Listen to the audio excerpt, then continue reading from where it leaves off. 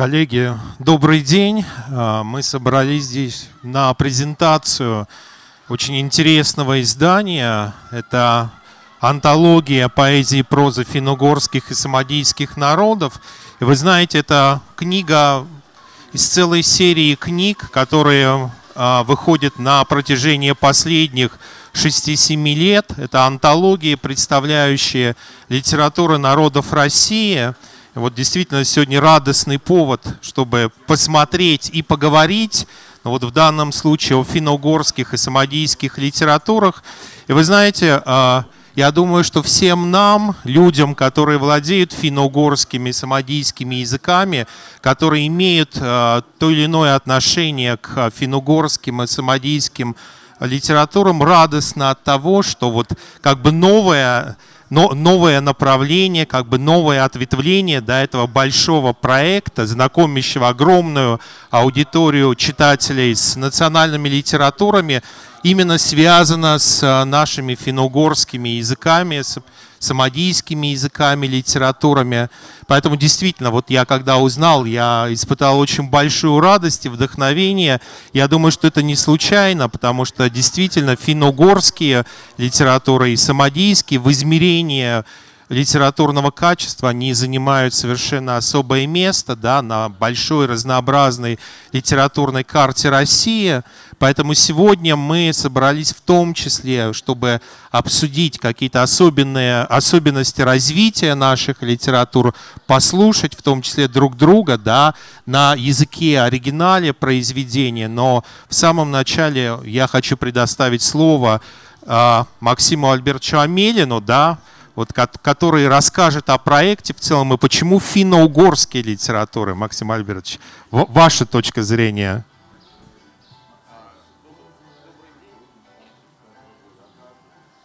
Добрый день. А, э, я вкратце расскажу. Это а, серия современной литературы народов России. А, в ней финно-угорская антология исмадийская вышла седьмым томом. И первые пять томов были а, жанровыми антологиями, поэзия, детская литература, проза, а, а, драматургия и публицистика. Шестой том был таким ответвлением.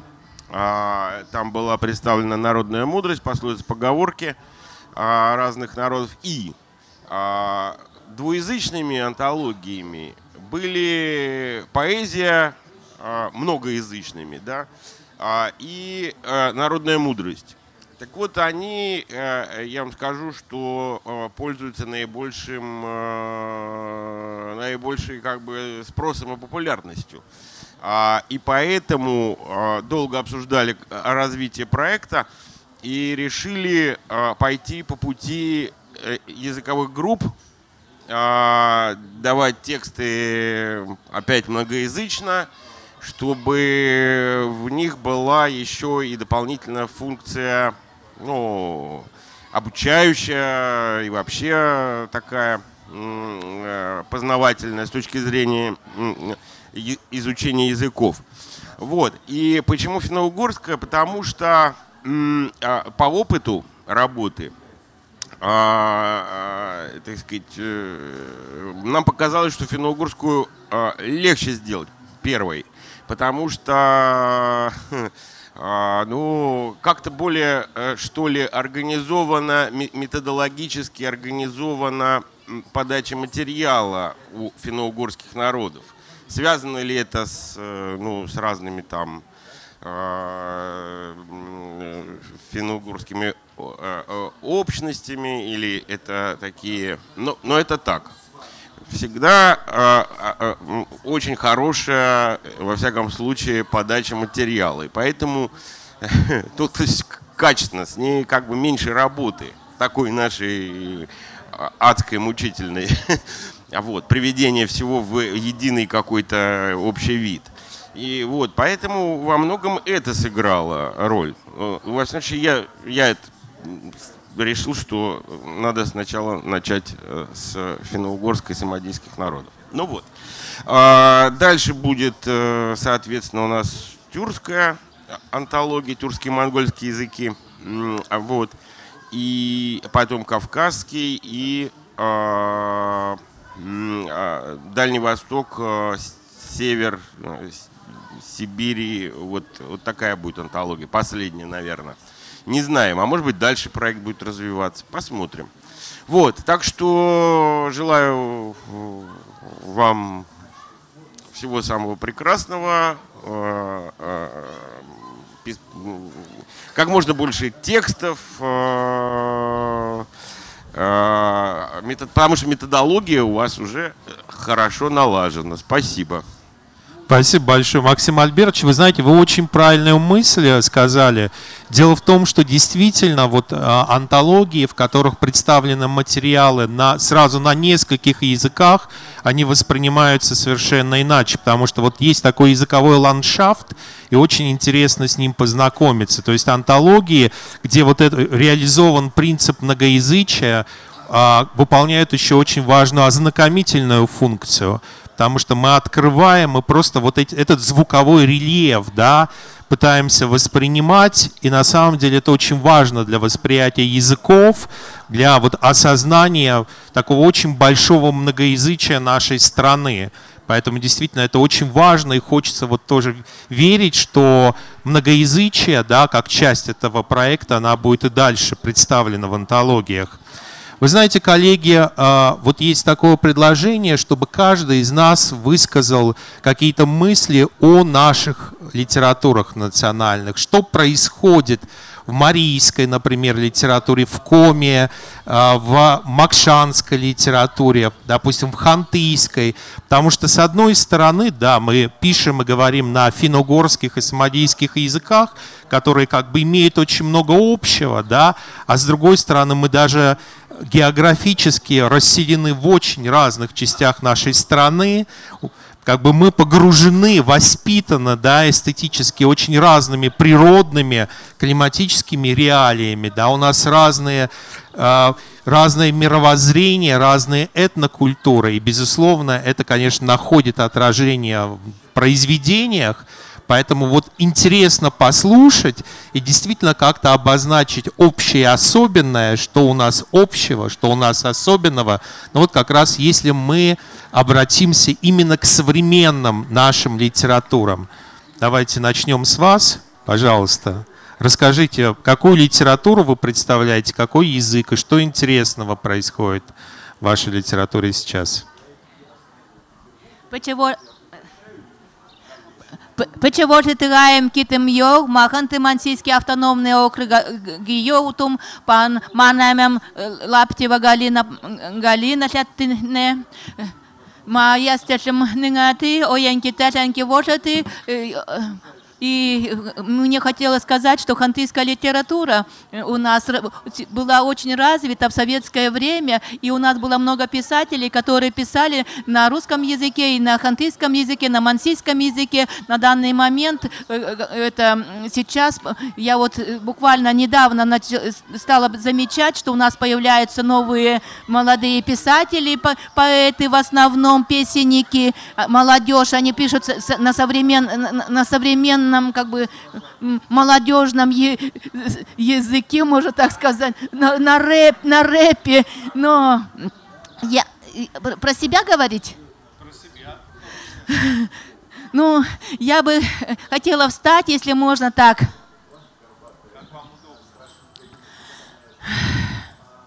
Манын это ястежем, ай, я полюли, ай, ай, я полюли, ай. Это колыбельная для маленького Андрюшки, который живет на стойбище. Я, я написала для своих детей, ребятишек, с которыми я работаю. А так, конечно, мои предки мне завещали так – о, золотая богиня дома, нашу душу, нашу плоть, охраняя, защищая, вечно гори священный огонь. Эти слова моих предков незримо звучат при виде огня в чувале моей мамы. Из старшего поколения она осталась одна. Вот и шепчет тихим голосом, трудолюбивой невесткой была, вот и оставили охранять нашу речку Юты. Огонь одобряет одобрительно трещит, беря с моих рук красную ткань. Языки пламени заплясали, запели. Какую песню споешь, огонь, матерь? Не успеваю прислушаться, звучит голос деда Ефима. Ютые ухан, луклинки, хутые тлум, хутые тлум. С юты речки глухарь, что мне делать, что? И пронизывающая песня старца все сильнее захватывала пространство старой хантыйской избы, где собрался весь род мущан Бабушка Татья идет плясать, кисти платка, как огонь замелькали. Еще мгновение, и мне кажется, что она и есть огонь-матерь, которая в танце поет. Танцуй, танцуй, внучка, пусть радость будет в доме, и я иду плясать. Замелькали берестяные маски, огонь, голоса, и мне кажется, я тоже часть огня. Это сон, сон. Нет, это не сон, это его привели в дом. Медвежий праздник. Пусть этот день охраняет нас в Москве.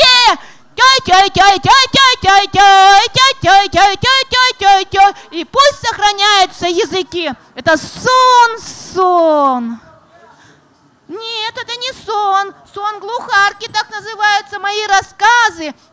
Посмотрите в интернете. Сон глухарки Галина Лаптева. А сейчас у меня есть наказ. Я, я написала для всех вас о свет несущих людях в Аргише. Кочевые народы Арктики – Видите свет Аргиша в сиянии северного сияния? Слышите колокольный звон по всей арктической дали? Это наши юбиляры в Аргише, в арктической дали развели костер. Он манит легендами предков, он манит мифами предков, он манит думами предков, он манит заветами предков, кочевых народов Арктики. И мы, затаив дыхание, читаем звездное небо в сиянии северного сияния. Санги, Таксами, Варламин, Варламова, Дудкина, Юван Шесталов, Андрей Тарханов, Раишев и все мэтры древней югорской земле на Неве стали Пушкина. Впереди свет несущие люди слышат нас. Впереди свет несущие люди видят нас. Свет Варгиша вдали, как северное сияние, дает надежду, уверенность в завтрашнем дне.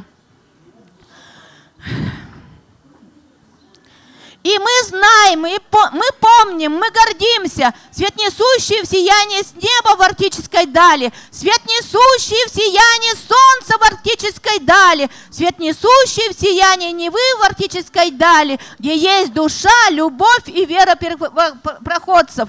И наши свет несущие говорим всем, живите, живи литература, и наша егорская литература будет жить. Югра, югра, Мавашты мы гамнамать юграм, югран масема питем. Поэтому я думаю, что литература будет жить всегда в сердцах.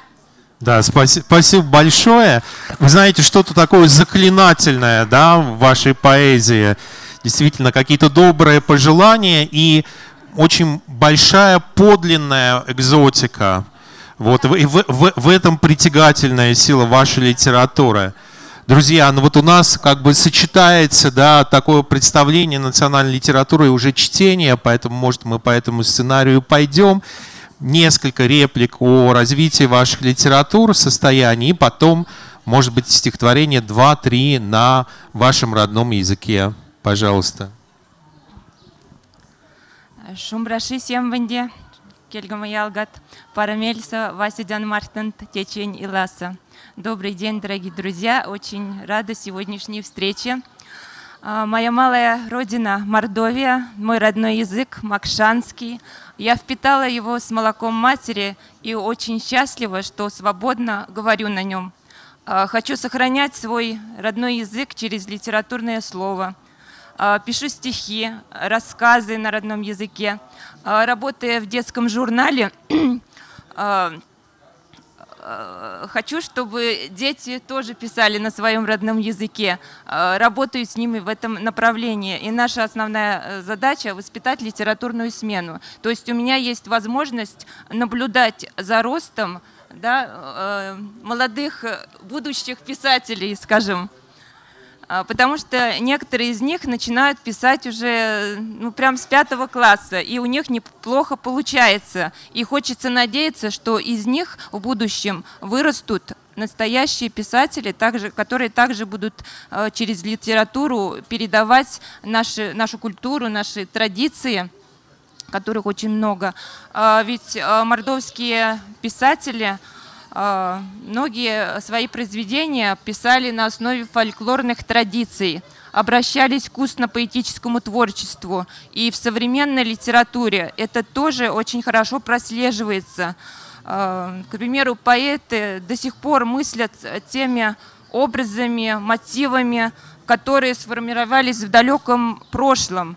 Ну, конечно, это происходит а, более модернизированно, в новой авторской интерпретации, не как, скажем, в 30-е годы, когда а, а, фольклор буквально использовался, да, но вот эта вот генетическая связь, она есть. И когда я даже сама пишу, я иногда не понимаю, откуда это ко мне приходит.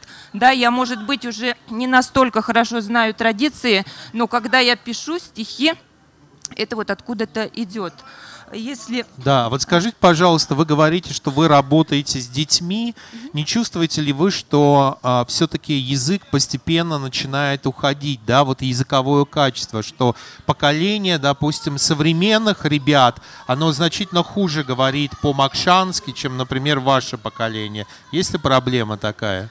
Да, конечно, и это в первую очередь, конечно, зависит от родителей. И я вот не понимаю, я, которая воспитывалась в семье, и мне мой отец всегда говорил, да, когда в школе изучали язык, ты можешь получить э, плохую оценку по математике, по любому другому предмету, но не по родному языку. Родной язык ты должна знать на отлично. И вот эти слова у меня всегда в голове. К сожалению, почему-то сейчас родители, а, я не знаю, они чего-то боятся. Они боятся, если их дети приедут в город, и у них будет акцент. Макшанский, Ирзянский. У нас не было этой проблемы, я за это никогда не переживала. Это мой родной язык, и я ни в коем случае не должна его стыдиться. Я всегда горжусь тем, что я макшанка, тем, что я говорю свободно на своем языке. Вот. А сейчас проблема еще в том, что э, закрываются многие школы в деревнях, да, это макшанские школы. Э, детей э, начинают возить в русскоязычные школы. Они уже начинают общаться с русскими детьми на русском языке. Это тоже влияет. Но я все-таки могу гордиться тем, что есть в деревнях дети, которые не только разговаривают на, на языке, но и пишут. И хочется, хочется с ними работать, хочется, чтобы из них выросли будущие авторы. Прочитайте, пожалуйста, что-нибудь на макшанском. Тунсем банькоряс ранастеят, афнейсак онсень педопес. Из кпена куда спенга ткаят, и тефня сатыхт пелевес. Шкайлик нетнен карши сарат — я над шум браши, Шраланг суранечки пачат, И пена куца пидев кши, Тонь сельма ванвсат, валда тящня, И ревалцень седези примай. Мон шабак спиште делень мештест, И тяфта ащик шнеленнай. В этом стихотворении образ родного дома, образ матери, образ женщины, хранительницы семейного очага. Она раньше всех встает, она э, молится перед иконами, просит здоровья для своих детей, топит печку, печет хлеб и э, толстые пшеные блины, национальное кушание Макшан э, в праздничные дни. Да? Вот примерно такое содержание. Да, спасибо большое. Скажите, пожалуйста, вот в макшанской современной литературе все-таки преобладает поэзия, проза. Я знаю, что очень сильно драматургия пудов, да, Э, Пудин, да, современный драматург, и его произведения ставятся на сценах разных российских театров. То есть есть пример вот такого определенного успеха, да, макшанских писателей. Да. Как- какие жанры преобладают? Э, Из драматургов я хотела бы еще назвать имя Валентины Ивановны Мишаниной, э, так как она, ее произведение тоже вошло в антологию. Ну, наверное, все-таки преобладает поэзия. Мы все почему-то начинаем э, со стихов. Да, первые шаги именно со стихов. Э, И я вот даже сама э, в какое-то время задумывалась, по какому же мне пути пойти. Э, Выбрать поэзию или прозу. Но так я и не могла определиться, потому что так и продолжаю писать и стихи, и прозу. Ну, среди молодых авторов поэзия, конечно, поэзия преобладает. Спасибо большое. Переходим к коми-литературе. Алена, пожалуйста, несколько слов о состоянии коми-литературы и ваши стихи. А, Всем добрый день. Как уже сказали, я представляю литературу коми, которая создается на коми-языке, а коми-язык э, относится к пермской группе финно-угорской ветви языков, к которой также относятся и удмуртский язык, и коми-пермяцкий. Вот такая небольшая группа. Э, Хотя официальную историю коми-литературы обозначают э, с середины XIX века, все-таки э, письменность коми возникла еще в XIV веке, тогда, когда коми были крещены и основы литературы, я считаю, были заложены именно в это время, потому что тогда э, начали переводить религиозные книги на коми-язык. Параллельно э, существовал, э, мифология существовала с богатой историей, фольклор. А когда возникли уже именно художественные произведения на коми-языке, тогда опора была и на русскую, и на мировую классику. А, и- а, обязательно надо сказать здесь, наверное, то, что больше всего э, и, и в момент возникновения литературы, и э, во все периоды ее развития, и в данный момент, конечно, коми-авторов, вообще коми-литературу вдохновляет идея э, близости народа и к ее э, природе, к природе севера. Э, И даже когда э, коми-писатели задаются вопросом э, об особенностях национального характера, о том, что его сформировало, в первую очередь, конечно, они говорят об этой связи фи- физической, духовной э, с родной природой, поскольку коми – это народ лесной, а, они э, всегда жили и сейчас живут э, в тайге, которую называют Пармой, на берегах широких, э, медленных рек.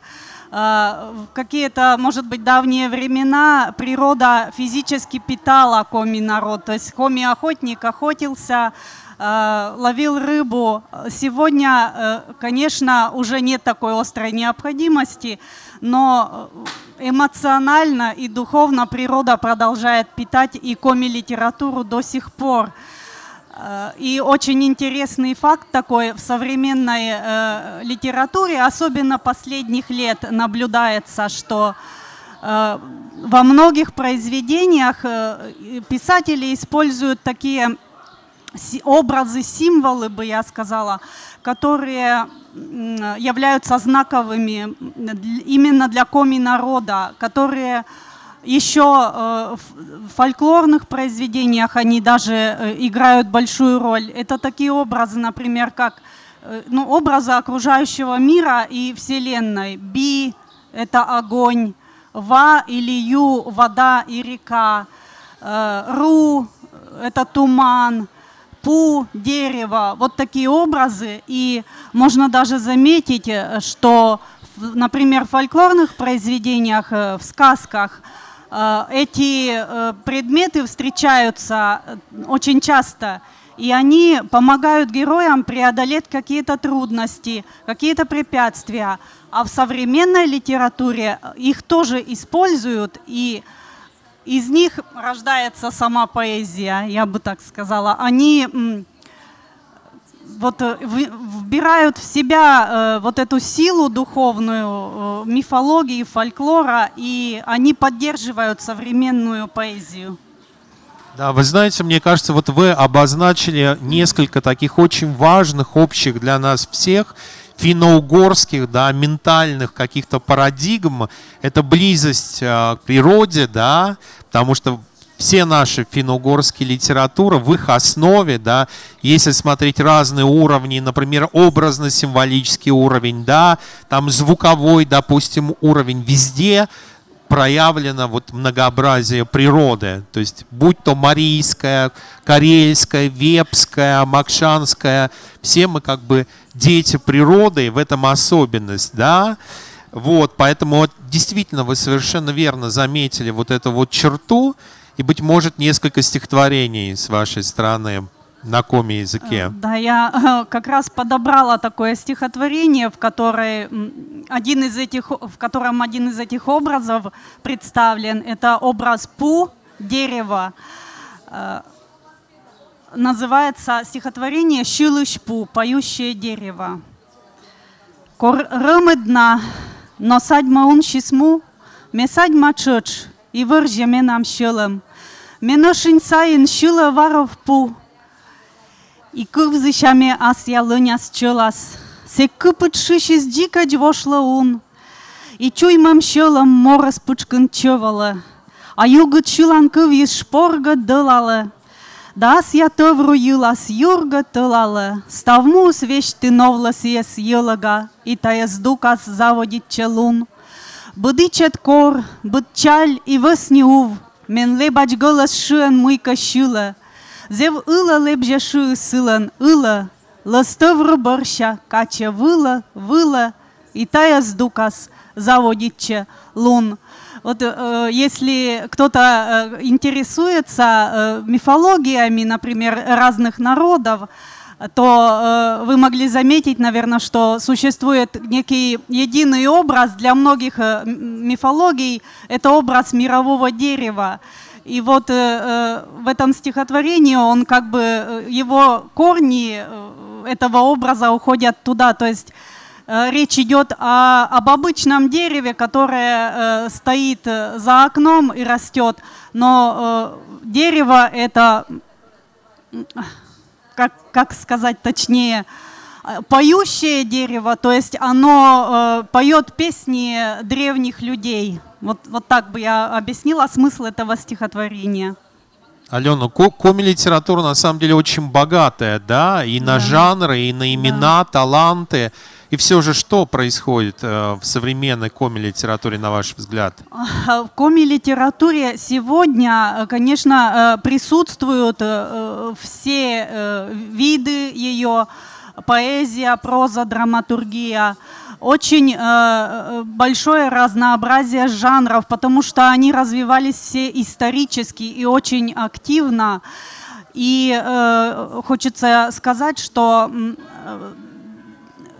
на первое место э, выходит э, периодически то поэзия, то проза.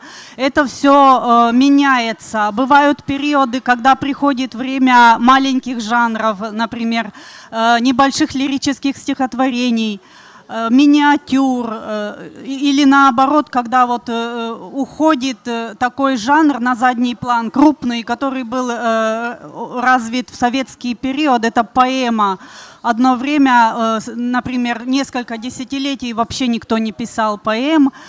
Э, и сейчас, э, вот, наверное, 10 лет назад еще, конечно, была на первом месте у нас поэзия.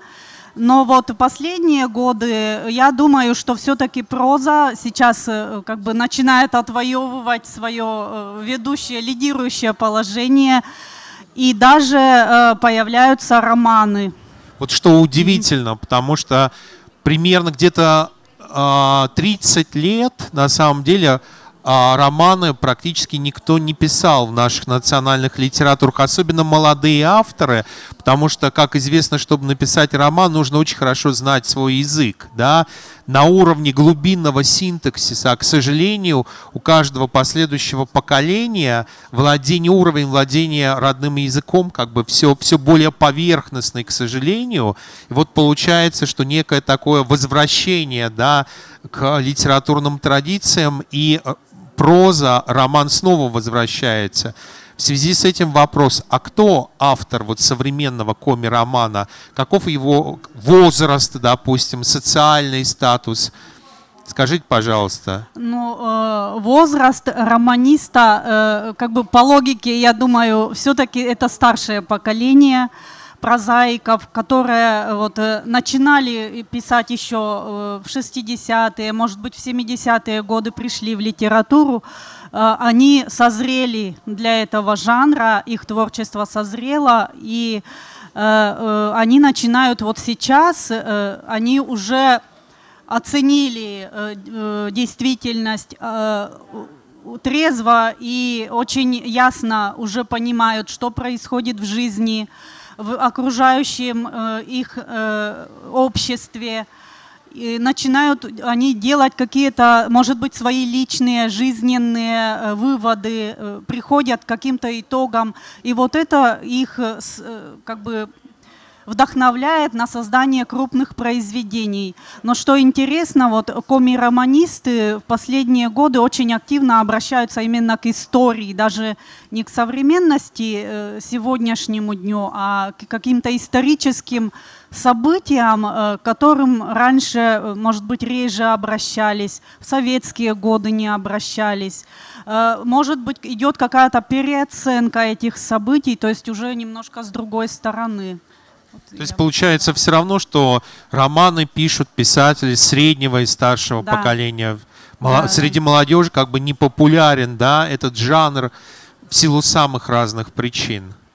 В том числе языковых, в том числе, что современная молодежь, она как бы нацелена на быстрый отклик. Да. Написал стихотворение, чаще, получил да. лайк, да, и как бы вот есть ощущение да. вовлеченности в литературный процесс.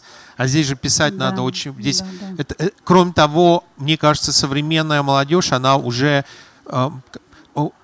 Она не привыкла к такому длительному интеллектуальному напряжению, потому что все-таки написание романа это такое интеллектуальное творческое напряжение. Ну, вот здесь на самом деле очень много, может быть, самых разных причин. Спасибо большое. Мы теперь к карельской литературе, да? да. Пожалуйста. Terve teillä kaikilla. Minä olen Ulli Tikkanen, tai olen Karjalasta. Здравствуйте всем. Меня зовут Ульяна Тикканин, я из Республики Карелия. И можно сказать, что я совсем-совсем первые шаги делаю только в творчестве литературном, потому что работаю журналистом в газете на карельском языке и пишу на собственно карельском наречии. А, и про карельскую литературу а, хочется отметить тоже особенности. И, конечно, основная особенность это в том, что литература развивается а, в трех наречиях, и эти наречия между собой не пересекаются. То есть развитие литературы на собственно карельском наречии идет своим путем, на ливиковском своим, на людиковском своим. А, и интересная история случилась вот э, с тем произведением, которое опубликовано в антологии, а, потому что я как э, представитель собственно карельского наречия, а, я эти рассказы писала по отдельности и публиковала в газете. Затем появилась потребность их э, объединить в такой цикл рассказов, но опубликовать на Ливиковском но это такая техническая получилась история, что нужно было, чтобы материал на Ливиковском был в литературном журнале. А, и тогда мне мои же рассказы нужно было перевести на русский язык, чтобы был сделан перевод на ливиковский. И эти рассказы были объединены, вот, получается, в цикл рассказов. А, и этот э, пример показывает, насколько разные наречия, а, что действительно необходимо было мне как автору перевести свои рассказы, которые я писала на собственно карельском наречии, на русском, а затем они были переведены на ливиковский. И вот это различие а, наречий, а, конечно, а, дает вот такую особенность, что каждое наречие идет своим путем. Это на самом деле во многих финно-угорских да. языках. Марийский, например, да, луговой, горный марийский, мордовский, эрзианский, макшанский, коми, да, коми зырянский, коми пермянский. Это, пожалуй, только у удмуртов один литературный язык, да, как бы вот характерна литература как раз на разных языках национальная, но карельская литература, несмотря на то, что, казалось бы, небольшое количество носителей, там есть потрясающие имена, но я вот, например, знаю э, Брандоева, да, э, поэта Бренда, совершенно, да, да, да, да, да совершенно замечательный, э, и именно я знаю, что он очень мало переведен на русский язык, потому что вот у него был такой, была такая внутренняя э, сфокусированность на языковом пуризме. Он хотел только на карельском языке писать, чтобы его творчество осталось. То есть это очень такое интересное внутреннее состояние. Может быть, вы прочитаете что-нибудь вот буквально? Да, да, я с удовольствием прочитаю Чтобы мы послушали, из да, язык. одного из рассказов. Меча oli hilleni, jos seisoo ta olla iänettä niin tuntui, että korvat olla lumehuksissa. Katoitsi metsä rapso kovasta pakkasesta. Tämä hiljaisuus oli lujempi iänekästä melua. Autossa istuessa myö näkimme, että pihalla oli 25 astetta pakkaista. Se oli kevätkuun kylmin yö. Myö tulimme himolle puoli yhdeltä yöllä tai yhdeltä jo ajoma pois parkkipaikalta. Shum juoksi auton jäljessä kyllän loppuksi Siitä me piettimme antoa koiralla voileivän, tää rutto ajoa pois kun se syö. Meitä vuotti viien tunnin pitkä matka kotih. Myös seisahtuma makuamah vain puoleksi tunniksi, sen kun mie enää en voinut ajoa autoa. Kotih myö tulimme seitsemältä huomeneksella. Se oli pitkä päivä. Ja kun se semmoiset päivät satutah, niissä varmasti on enempi 24 tuntia. И вот интересно тоже было сказано про то, что очень тесная связь с природой в произведении а, представлена. И я вот как ну, молодой э, писатель могу тоже сказать, что а, вот первые мои рассказы а, и вот уверенность говорить о взаимоотношениях, именно действительно мне легче всего первую тему выдвинуть, это взаимоотношения меня лично с природой моей родной. А, и вот этот, э, это такой самый первый глубокий источник вдохновения действительно а, для меня стал. Ну и как, конечно же, для многих авторов, которые воспевают карельскую природу и взаимоотношения человека с миром. Спасибо большое. Так, у нас э, последняя на сегодня литература, это марийская литература. Пожалуйста, несколько слов о марийской литературе. Салам лиже Чулалан, Люмем Володя, Мариэл Республики Шкарлага Чантендандыке. Толанна, всем здравствуйте. А, я журналист в большей степени, потому что уже 17 лет работаю на радио, нашей национальной радиостанции. А, лично в моей жизни все взаимосвязано. И какие-то журналистские находки плавно переходят в художественное слово. В большей степени я практикуюсь как драматург, и мое э, первое произведение, уже более-менее профессиональное, как раз-таки а, вошла в антологию драматургии. А в этой антологии уже рассказ. То есть это моя вторая работа, которая вот вошла в антологию.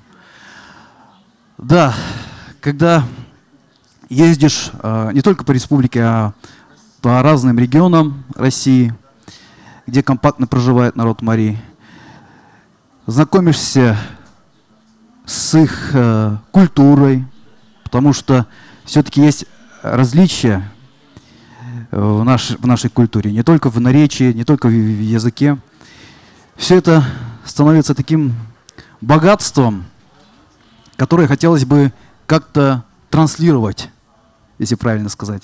Не только в эфире радио или телевидения, но и через художественное слово. А, вообще, марийцев называют последними язычниками Европы. А, наша марийская традиционная религия стоит наряду с всеми другими религиями в нашем регионе. У нас есть верховный жрец, карты, проходит моление. И, конечно же, наша вера, наше, наше мировоззрение, наше отношение к миру, это все отражается в нашем художественном слове. Я думаю, максимально, потому что, повторюсь, и сейчас мы поклоняемся природе. Хотя есть спорный момент, все-таки я считаю, что в основе нашей религии все-таки ведическая, потому что... Это, это религия Ошмари Чемари, да? Как ее называют? Есть, да, да. такой Ошмари Чемари. И м, родовые истоки, уважение к родовым истокам, конечно, тоже имеет большое место. Как развивается сейчас литература? Литература развивается, да. Есть и серьезные жанры. Вот если вот э, о романах речь зашла, есть у нас и романисты, но вот хотелось бы вспомнить сейчас Марию Либаеву. Она писатель уже 21 века. Ее не стало три года назад, но из-под ее пера вышло очень много романов, именно современных. А, есть попытки, так сказать, э, написать и фантастику, то есть есть уже э, готовые издания, да, Леонида Яндака, Яндакова, э, фантастические романы, есть попытки детектива, э, даже любовных романов, эротических романов были какие-то попытки написать. Конечно, это э, была небольшая даже шумиха по этому поводу. То есть э, эксперименты у нас продолжаются. И что касается уже современной литературы, конечно, поэзия преобладает над всеми другими. И примечательно, что сегодня присутствует здесь в зале народный поэт Республики Мариэл Геннадий Сабанцев-Ояр. И молодой поэт, больше автор, песенник Виктория Матвеева. К удивлению, да, тоже посетила наш, э, наше мероприятие. А, развивается современная марийская эстрада, поэтому поэту пишут – да, нам уже показывают, что нужно заканчивать. Вы знаете, в, ка- в качестве вот такой резюмирующей реплики, э, ну, получается, что наши финно-угорские литературы, они в, в стадии такого очень активного художественного поиска, э, в стадии поиска каких-то новых контекстов развития. Я думаю, что вот сегодняшняя антология, которая как бы объединила нас всех и стала причиной нашей сегодняшней встречи, она действительно познакомит широкого читателя с богатством и разнообразием современных финно-угорских и самодийских литератур. Всем большое спасибо.